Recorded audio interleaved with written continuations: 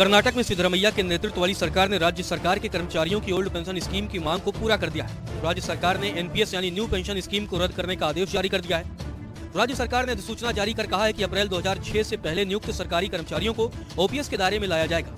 राज्य सरकार ने साफ़ कहा है कि यह योजना सभी सरकारी कर्मचारियों पर लागू नहीं होगी।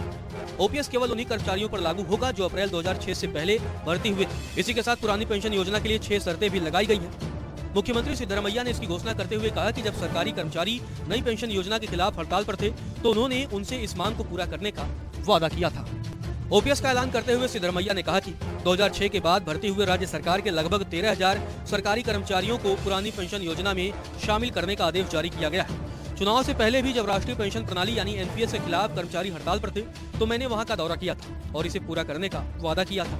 मुझे उम्मीद है कि इस फैसले से तेरह हज़ार एनपीएस कर्मचारियों के सभी परिवारों को राहत मिलेगी। गौरतलब है, पुरानी पेंशन योजना के तहत सरकारी कर्मचारी रिटायरमेंट के बाद मासिक पेंशन के हकदार होते हैं। मासिक पेंशन आमतौर पर व्यक्ति के अंतिम आधारित वेतन का आधा होता है। नई पेंशन योजना के तहत कर्मचारी अपने वेतन का एक हिस्सा पेंशन फंड में योगदान करते हैं। इसके आधार पर वे रिटायरमेंट पर एक मुश्त राशि के हकदार होते हैं। पुरानी पेंशन योजना दिसंबर 2003 में बंद कर दी गई थी और नई पेंशन योजना 1 अप्रैल 2004 को लागू हुई थी।